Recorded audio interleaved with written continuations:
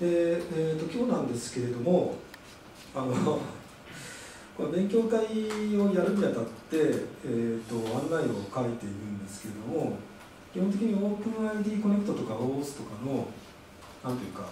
昔ながらの OAuth とか OpenID コネクトやらないで最近のアップデートを中心に特に我々がですね注目している部分についてこう独断と偏見とか一つポイントというか全部なんですけども、えー、とお話をしていきたいと思っております。えーとまあ、私の紹介ですね、あの一昨年からご随分やってます。ということで、えーとまあ、全体の流れとしては、まあ、これまでと今注目っていうところと、あと今後、まだちょっと緩いんだけど、今後注目ですというところを3本立てでお話していきたいと思います。はいということで、えー、2010年代前半のオープン ID、これさ、オースミートとオーパンコネクトというところで、えー、話をする。えーと、まず OOS2.0 とはというと、まあ、この辺りはもう今日はちょっとあのいかなと思いつつちょっと一応入れてきました、えーとまあ、何かというところで、えー、アクセスデリアクセス権アクセスのデリゲーションのフレームワークでかつそれをトークンというものを使って行うというところがポイントですね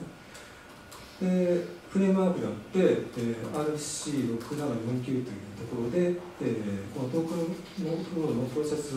全体的な流れと基本的な付与のフローというのが決まって、えー、定義されています。でまあ、基本的なところしか決まってないので、えー、逆に言うとかなり広いなんとか柔軟なところがあってですねいろんな使い方というのがあ出てからあ考えられているねそのトークンの付与方式とかトークン自体が何も決まってなかったりとかあと何がどういう人が関与するかというところも基本的には自由と、まあ、自由というのはなんですけどかなり重要性が高いというところですね。で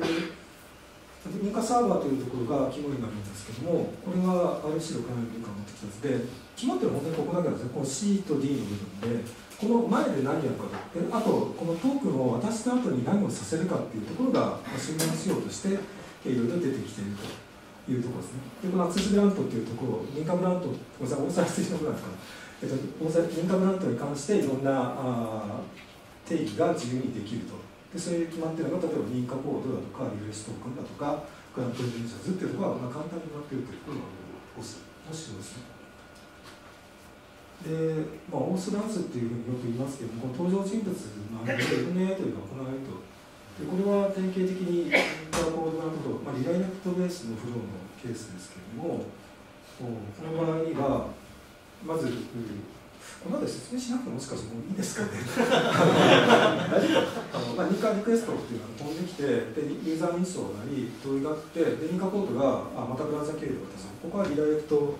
ブラウザリダイレクトになっていてでそのブラウザリダイレクトで得た認可コードをサーバーとサーバーでアクセストークンに引き換える。ででもらったアクセストークンを使って API にアクセスするというような流れです。でこれを開発したのが OpenID コネクトで、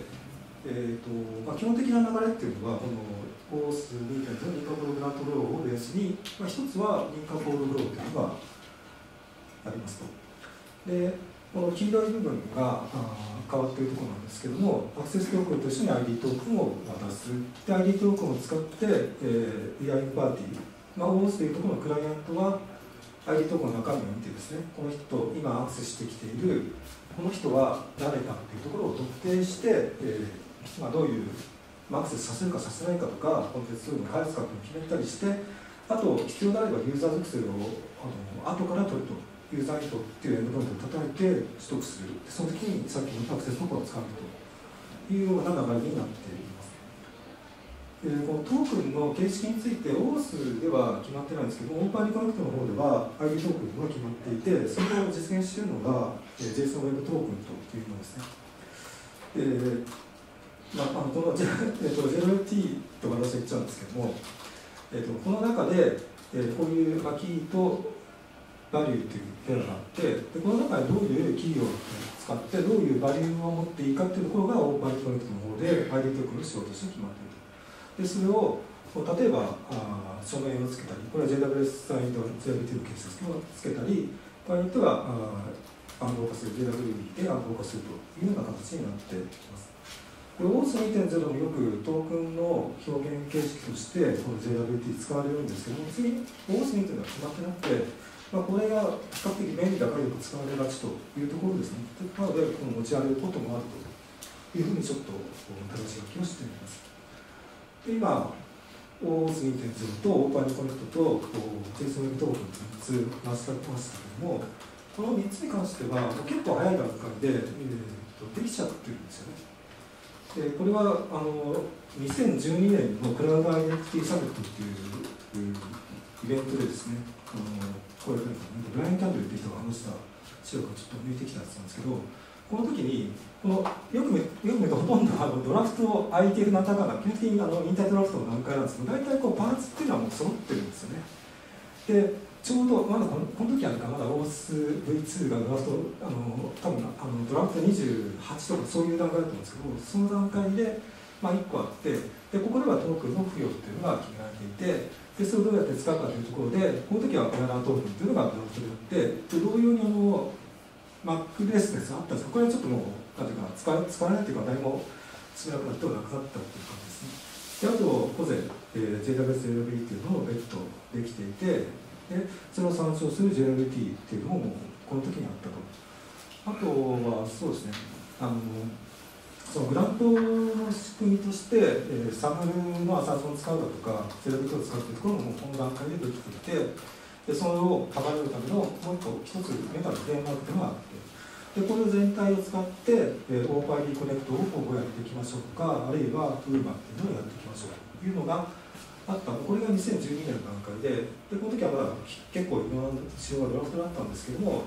2014年に OpenID Connect が最終版として出て2015年に JWT なりこの後ご紹介する PKCE というのが RFC の Proposed Standard になってで大体標準化というのは終わったとあの基本的なところが終わったっていうような感じです。でもう5年経ったわけですよね。でこれでもう今もうこのままなのかっていうところが今日の勉強会の趣旨です、まあ、ちょっと違ってきてるんですよね。で2020年のオープン ID オースオーバー DC 何かというところでいくつかトピックを紹介します。